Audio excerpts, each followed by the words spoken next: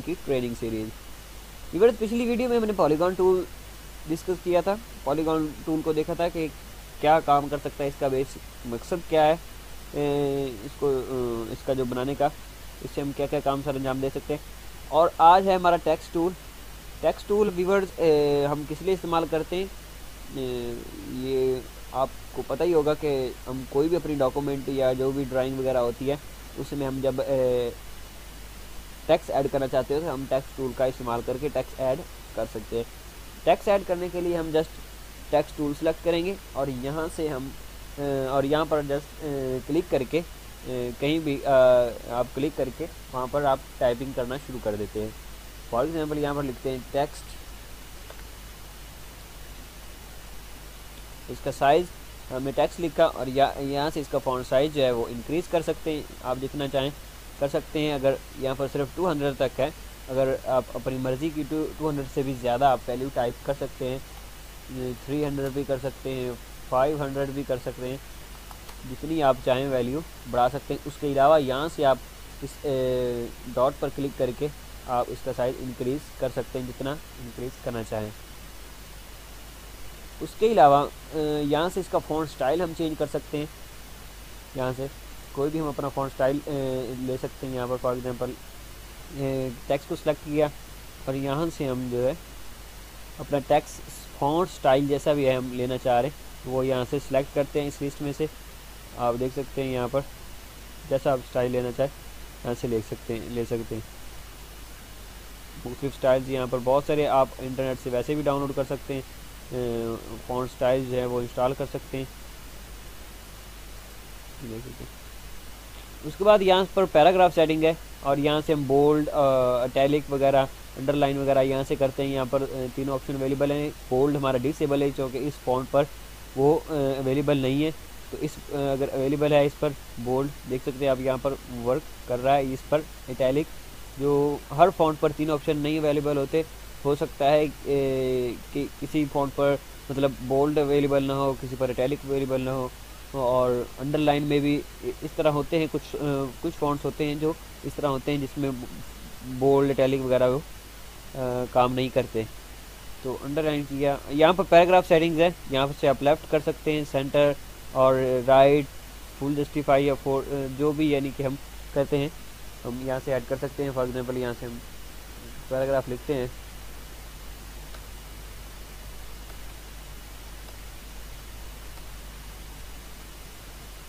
छोड़ किया। ये फॉर एग्जांपल हमने पैराग्राफ लिखा है।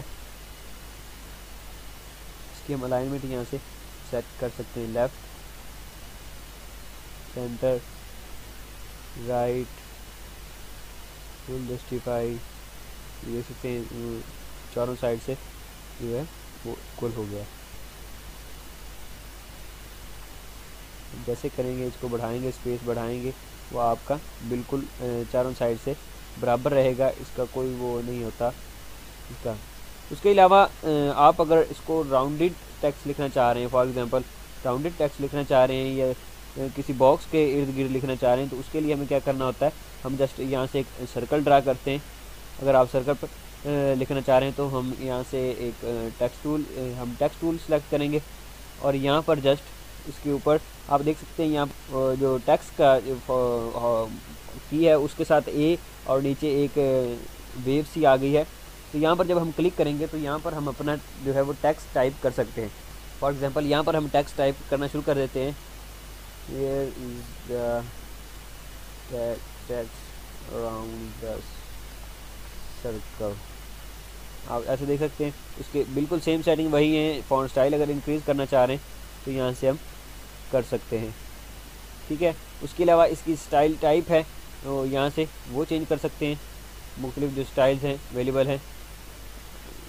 इस तरह मुख्तलिफ़ मतलब मसलन आप यहाँ से जो है, वो स्टाइल इसके चेंज कर सकते हैं। आप किस स्टाइल का वो करना चाह रहे हैं। यहाँ से हम स्टाइल चेंज उसके बाद व्यूवर जो अगला बॉक्स है, इसमें हम अपना इसका मार्जिन और सर्कल और टैक्स के दरमियान मार्जिन कितना रखना चाह रहे हैं या गैप कितना रखना होना चाहिए तो हम यहाँ से वो रख सकते हैं। फॉर एग्ज़ाम्पल यहाँ से हम वन पॉइंट ज़ीरो करते हैं तो आप देख सकते हैं यहाँ पर हमारा गैप वो ज़्यादा हो गया।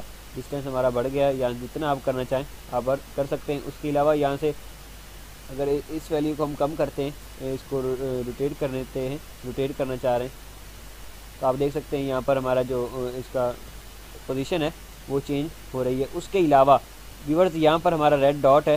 रेड डॉट के ज़रिए से हम अपनी मर्ज़ी से जस्टिफाई इसको कर सकते हैं एडजस्ट कर सकते हैं जहाँ पर करना चाहें, जैसे करना चाहें हम एडजस्ट कर सकते हैं। आपने देखा होगा मुख्तलिफ़ लोगोज़ में क्या जो टेक्स्ट है वो राउंडेड लिखा होता है। तो इस तरह हम जो है वो अपना टेक्स्ट राउंडेड लिखते हैं। कंट्रोल केप करते हैं। तो हमारा जो सर्कल और टैक्स वो वो अलहदा हो जाएगा और हमारा जस्ट वो टेक्स्ट है, वो सिंपली राउंडेड रहेगा। कंट्रोल जी जी किया, यहाँ से इस रेड डॉट से हम इसकी जो है चेंज कर सकते हैं। उसके अलावा अगर हम यहाँ पर ज़ीरो करते हैं और यहाँ से इसको यहाँ पर बराबर लेके आते हैं। और ये वीवर्स ऑप्शन किस लिए हैं? ये दो ऑप्शन वीवर्स इसलिए हैं कि अगर आप इन साइड पर लिखा हुआ टैक्स है तो आप उसको, या अपोजिट साइड इसको चेंज करना चाह रहे हैं, उल्ट उल्ट करना चाह रहे हैं तो यहाँ से आप कर सकते हैं फॉर एग्जांपल आप देख सकते हैं यहाँ पर हमारा जो टेक्स्ट है, वो अपोजिट साइड पर हो गया है।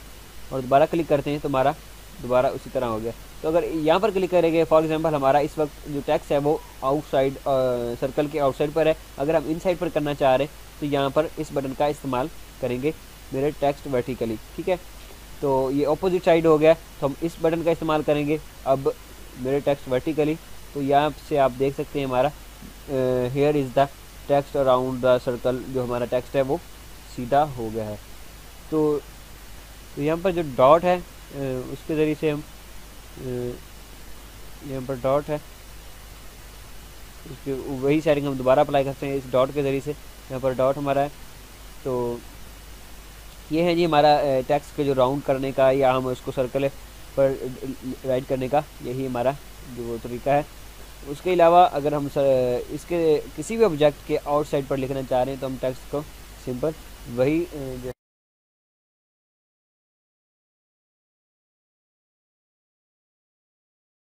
सॉल्व भी करते जाएँगे और यहाँ पर वो टेक्स्ट जो टाइप होता जाएगा जितना लिखना चाह रहे हैं। इसका फाउंड फाउंड साइज़ वही सेम जो है तरीका है। और अगर हम पॉलीगॉन के आउटसाइड पर लिखना चाह रहे हैं तो वो भी सेम वही तरीका किसी भी आप ऑब्जेक्ट पर लिख सकते हैं। देख सकते हैं आप। तो इस तरह आप किसी भी जो टैक्स बॉक्स या पॉलीगॉन या सर्कल के जो आउटसाइड पर या इनसाइड पर हम टाइप कर सकते हैं।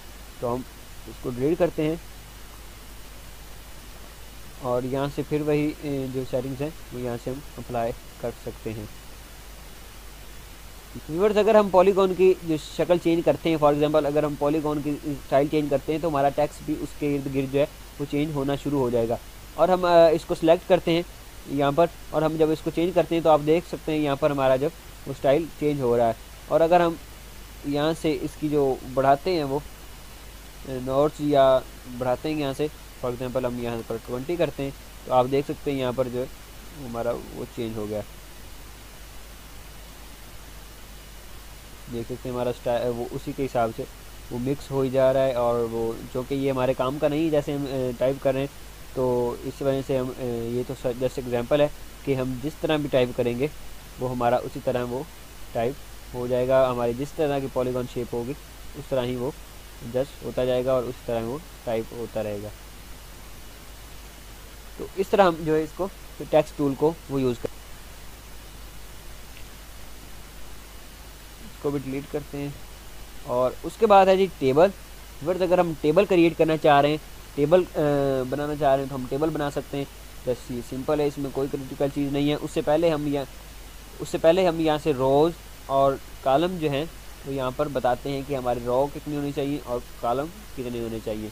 और बैकग्राउंड इसका कैसा होना चाहिए टेबल का, वो यहाँ से हम सिलेक्ट करते हैं। क्योंकि हमने अभी क्रिएट नहीं किया तो यहाँ से हम क्रिएट करते हैं first of all for example हम टेन करते हैं और टेन बाई टेन टेन और यहाँ से हम बनाते हैं। और यहाँ से अब इसका बैकग्राउंड चेंज करते हैं।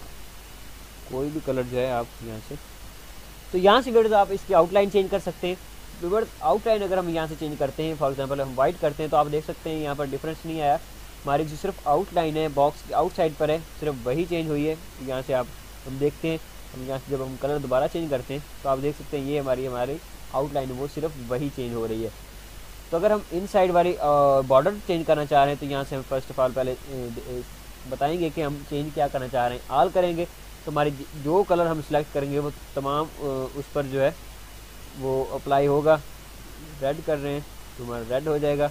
और इसका जैसे भी हम करना चाह रहे हैं इन साइड वाला करना चाह रहे हैं इन कर सकते हैं।